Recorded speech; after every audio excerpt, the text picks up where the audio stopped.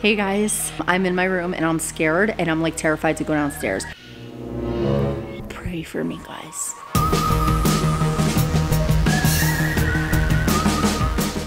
Hello, my fellow sniffers, flighters, and newbies. My name is Marlene McCohen, and this here is my baby mustache parakeet, Brando. And we are going old school today. I know a lot of you guys missed story time Sunday because you just got to sit with me, have a cup of tea, put on your makeup, do whatever you do while I tell you a story. That's a lot of fun for me too. But first, I want to tell you guys why I veered away from Storytime Sunday. I didn't actually veer away from it, I just started showing you the story. So instead of me sitting down here and saying, this is what happened, I've been able to pull out a camera and show you a lot about what's happening when it's happening. So instead of being like, guess what? And then a guy came over and Vinny dive bombed him. I'm like, Vinny's gonna dive bomb George, so let me just pull out the camera. But this video, I was not prepared for at all. So I think you guys are gonna like like it. After I discovered what was happening, I did get some footage of me. I won't even go into details. Before we go on, for those of you wondering what sniffers are,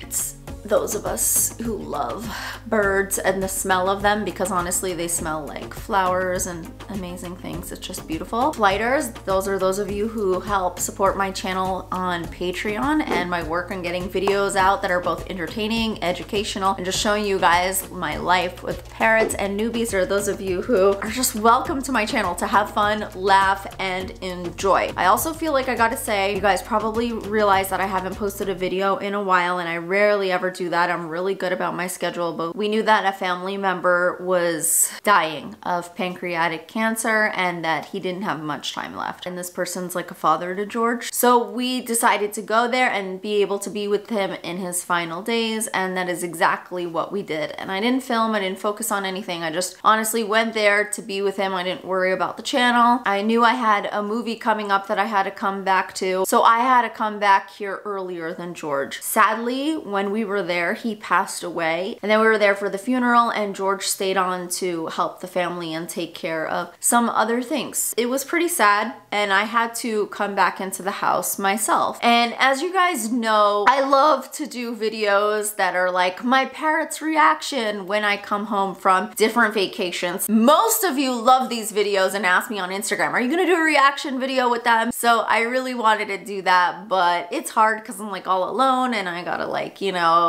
open them up. It's better when like we're both there. So I wasn't planning on doing that video to be honest with you. I just thought I'd come home, relax and take in what happened. And I knew I would be alone. So I texted one of my friends from acting class. I arrived at Friday about 7 p.m. and I had acting class the next morning at 10 a.m. which means I have to kind of get up at like 7.30, get ready and be over the hill. That's West Hollywood. But at the same time, me and LL, that's my friend who you guys met, you've seen her on my channel. Lou's a little jealous right now, I think. Lou's really jealous we had rehearsing to do. So I thought it would be a good idea for me to come home. She would come over, I would order us dinner, and then we would rehearse and then be ready for class in the morning. So I get here and I open the door and I'm very excited to see all of my birds. I start walking through, opening all the cages, giving them kisses, visiting each and every single one of them. And then I realized, okay, I just need to kind of go upstairs, kind of get in my pajamas, get organized, and then I'll come downstairs and play with them and let the crazy ones out. Some of them are crazy and I just gotta wait till I'm like really settled to like let them out because I wouldn't be able to leave for a few minutes. Those of you who follow me on Instagram, you know that before we left there was a flood in the house literally upstairs started flooding the downstairs. Come look at this. Oh! this is what happens, George, when you fall asleep in the shower. Don't even go there. Don't even put it on video. Don't even put it on video. And so as is, now we can't shower in our bathroom until it gets fixed. For those of you who don't follow me on Instagram, you're missing out on a lot of action because I am so on top of my Instagram story. So you're probably very up and in on all of this. So I'm upstairs and I'm all alone and I decide, you know what? I'm gonna go take a peek in my parents' room. So we have this room in our house that belongs to my parents, except my parents kind of are only here once a year because they live in Ireland. But when they come, all their stuff is in the room and that's where they go. But I redid it for them. Like I totally redesigned the room and George put in a new TV and we like lied to mom and we said, Oh, I took down your TV. And she's like, Are you mad? What am I going to do over there? We're not coming. I'm canceling the flight. George, tell them, tell them, George. And we're like, so I'll go in, close your eyes. Close your eyes, Dad. Close your eyes. Keep mm-hmm. them closed. They're until- closed. Oh.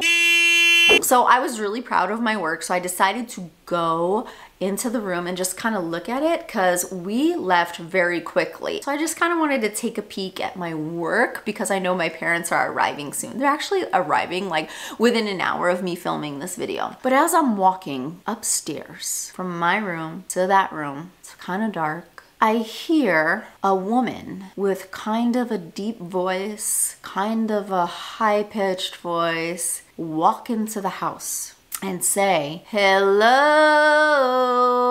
And I literally was like, frozen. If you guys know the design of my house, I was in the hallway and it sounded like it was at the front door, but it also sounded like it was in the room I was about to enter. I start backing up and I don't know what to do and I'm like, hello? Now, you guys know like birds talk. So I know the first thing you guys are thinking is like, it's one of your birds. But when your birds talk, you know exactly what they say and who they sound like. And this woman does not live in my house. So I'm like really scared. And I'm suddenly like, oh no, oh no, oh no, oh no. And I backed up and shut the door of my room and stayed in there. Now I'm stuck because I'm like, I'm too scared to go downstairs. I let the birds loose. Which birds did I let loose? Did I let all of them loose? Are the crazy ones loose? Maybe they should be loose. Maybe Vinny will get whoever's down there. And I'm like, no, Marlene, you gotta think rationally. So I start thinking and I realize one of my best friends, Noora, and her husband, Madi, were babysitting the birds when I was gone. You guys know Noora from a previous video. What is your secret? I know you can't generalize, but what do you think like overall it's been? I think there's a couple things. One is it's not the quantity of time that you spend with the birds, it's the quality of time that you spend with them. She is great with all of the birds. She works hard, befriends them, just like feeds them all. They're able to let them all out. Madi plays the guitar. I mean, it's just unbelievable the way they take care of the birds. Noora told me, she said, I just want to let you know Merlin is talking like me and now he sounds like me. And I'm like, oh, that's so funny. That's really cute. So I started thinking, hmm, I should call Noora and just see. So I call Madi and I say, hey Madi, um, Noora said that Merlin's talking like her. What does he say? Because I don't want to like, you know, him to just agree because still there could be like a ghost slash murderer downstairs. I don't know, right? I mean, I just can't take the chances. I'm in the house alone and this house is like, I don't know, it's not like the house you want to be alone in and I'm never alone in it because there's always just like a lot of action. So I was just like, He's like, oh, Noora, what does Merlin say? And she's like, oh, he says Merlin. I'm like, that's it? That's what he says? Merlin? Um, she's like, yeah, but like in my voice. And I'm like, um, okay, what else does he say? She's like, well, he says Merlin and he does like the phone making noises. And I'm like, no, Noora, there is a woman downstairs in my house right now. And I basically need to know if Merlin has ever said hello in your voice. Cause in hindsight, I'm like, maybe it's like a cross between Nora and Madi's voice. And it kind of sounds like, you know, when you walk in and you're talking to your animals and you're like, hey, here I am. But it's not my voice. It's not George's voice. Maybe it's the way Nora and Madi greeted the animals. And maybe they were used to me being gone. So they just assumed that this was her entering the house and that's how they're to talk. So I'm like, Nora, does he say hello? And she's like, well, you know, he says so many things. I mean, just the way they made the phone ringing and the beeping. And my mom was just like mind blown. He does them so perfectly. It's unbelievable. I'm like, Noora, I know this. These are my birds. I know that they do that. Aside from that, does the bird say hello? Hello in your voice. And she's like, yeah, yeah, I'm pretty sure. And Madi's like, it's the bird, it's the bird. Don't worry, do you want me to come over? It's the bird. I'll come. I'm like, no, you guys just stay there. LL's gonna come, but I'm gonna stay in the room. Just kind of wait. And then I'm like, no, Aura, this is like really weird. She's like, you're telling me this is weird? Imagine how I felt when I was standing in your house and I suddenly hear myself behind me. And I'm like, oh, you think that's crazy, Nora? How about the fact that I am calling you right now to see if you are possibly downstairs? And she's like, oh yeah, that is pretty weird. And then Madi's like, it's the bird, it's the bird. And I'm like, I know it might be the bird, but I'm not going downstairs to find out if it's the bird because the other thing I didn't tell you guys is that the bird literally does the sound of the door opening. So sometimes I'm home alone and I hear the door opening and I'm like, uh, you know, like I love these shows like 2020 and Dateline and Murder Mystery and all that kind of stuff and I can't watch it here alone because it'll only be about 10 minutes before my dog finds a squirrel outside or a raccoon that she wants to bark at and so I think the murderer's outside or 10 minutes before the birds make one of the doors open and then I'm just convinced that I'm going to die.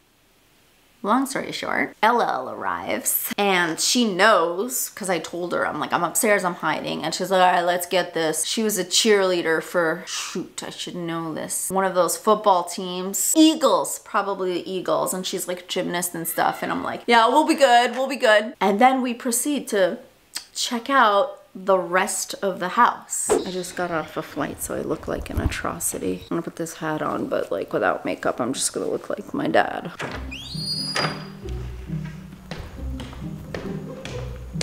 LL? Hey, what's going on? You might get the camera. You have got to scope. Boogie boogie. Come in before someone comes in.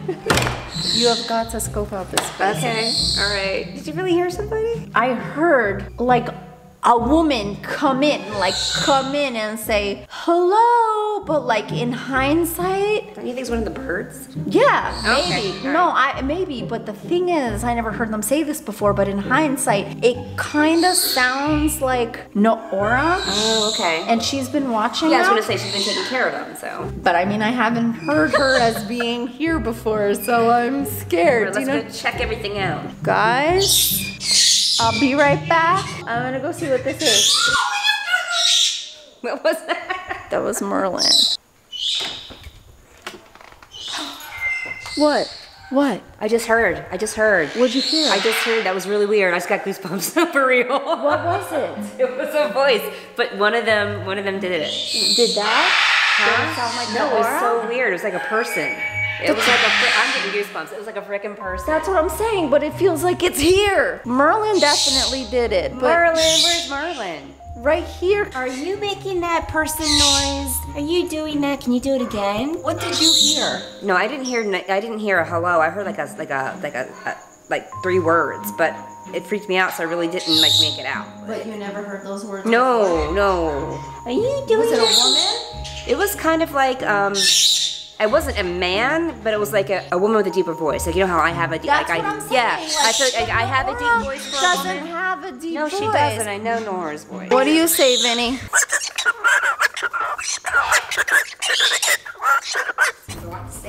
I know because he's. I know. Did you check in here? No, I'm. I'm gonna check the garage. I'm scared to check the garage.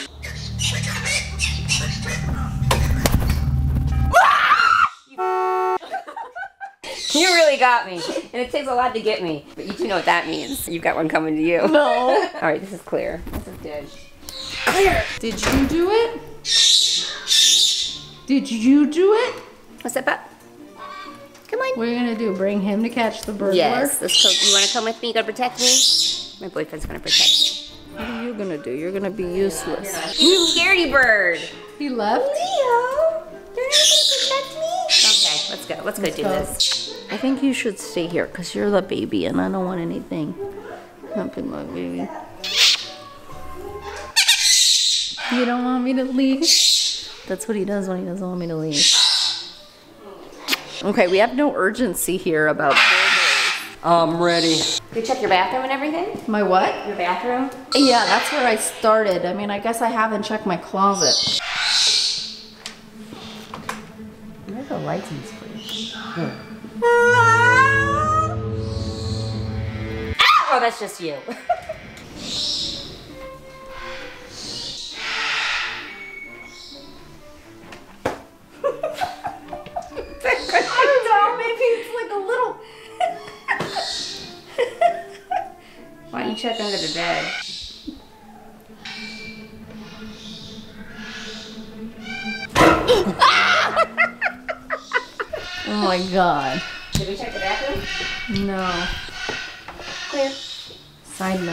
you guys like the new decor in my mother's room that I did? With all this racket, if anyone was... Yeah, I don't think You know what my dad said? He says, you guys have too high decibels in your house for anybody to ever come in. And as we're checking the rest of the house, I'm still convinced that there could be a woman in the house or a ghost. You just never know.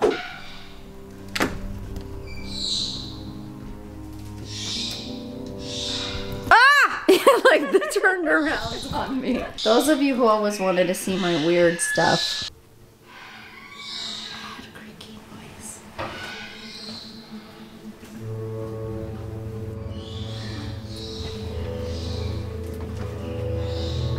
Oh my god. Go, go! So I think my room's good because I hid in there. So you think no one's in here? Nope, nobody's in here. So And then, you did check the bathroom. You're good, right? so then maybe we should. Just stuff. Hi, Starbucks. Hi, Starbucks. You're smushy smush. Isn't she the cutest? So cute. Nothing. Yeah, nothing. Nothing. Oh, look at the closet. Yeah, I organized it because it literally was making me sick. It looks awesome. Doesn't it? You must feel so accomplished. Makes my autoimmune disease flare. okay, so I guess we're good. All good. It's clear. Why do I hear Brando not wearing? Mama! Look at him doing his hunchback walk. Hi! Hi! You came looking for me? Mad I left? Oh, I won't leave you. I didn't want in case there was somebody scary. I didn't want you to be involved in it. Let's see all our brothers and sisters. Hi, my beautiful baby. Oh, are you excited, baby? Are you ready to come out and terrorize everybody? Come on, Merlin. Hi, handsome. You're my baby.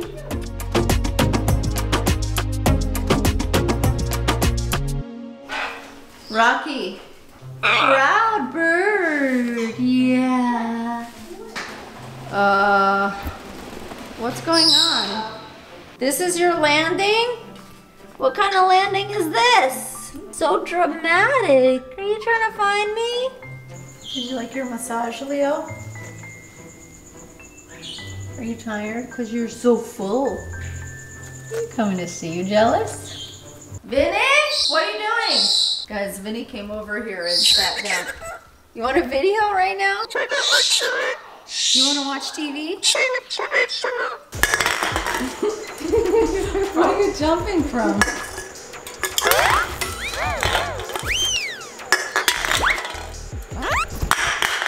Okay guys, I hope you enjoyed that video. I mean, we got a little bit there of like the inserts and stuff and then what happened with me and LL and like how we checked the whole house and then you got a little bit of the birds and then I basically studied until 4 a.m. with LL, went to sleep, woke up at 7 or 8 a.m. to get ready for class, went to class, came home, and had the whole film crew come over my house to set up for the movie we were doing, and then woke up early on Sunday and filmed a movie all day, which you guys probably all saw on my Instagram. That is it. I gotta go get prepared for my parents to come over. Guess what, guys? Two things I wanna tell you. One, I'm about to play a prank on my parents, okay? Dad, I So make sure you stay tuned for that video because I think it's gonna be good. A lot of you know and love my parents and just love when they're in videos because like Lucy and Desi, it's like just such a comedy show. And two, I just wanna throw this out there because these are in front of me. These are the Vinny Gang notebooks. He says to be clear because you know that he's very clear. But um, when you guys order these online, um, put in your description if you want me to sign it and I'll write you a little note right here and put a sticker here like I do for you guys just because there's been some confusion. If you don't tell me to write a note, I won't. So you can write that in your description when you order. I absolutely love these. Don't forget to check out my Patreon. We also have our bird food and our shirts. These are my Vinny Gang shirts. Anything you guys do or purchase from us helps me support the channel, helps me keep making videos, and it also helps me do better things for the bird community, like how you guys becoming subscribers of the Feathered Fun Box helped us to bring toys all the way to Parrots First in Vegas, and I hope to be able to do more of that. I'm sending all my love to the animals in Australia. I love you guys so much. Bye.